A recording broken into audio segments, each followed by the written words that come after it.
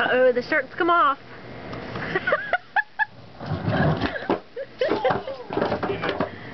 oh, Wayne, you said it bad.